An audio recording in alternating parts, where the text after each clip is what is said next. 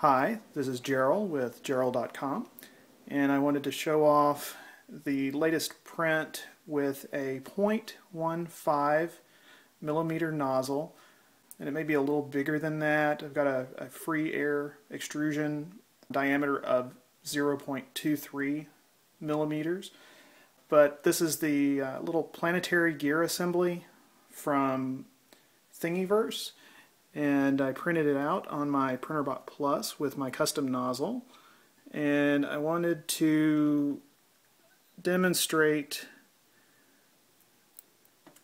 that it actually functions.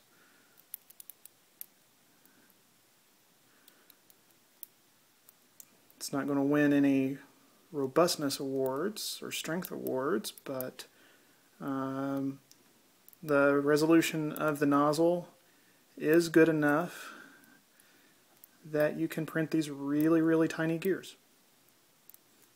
So I wanted to thank everybody that has purchased one so far and uh, invite anybody who has a Printrbot and is interested in printing things really small to check out Jerrill.com and uh, possibly purchase one of our nozzles and post some videos of the really small things that you print.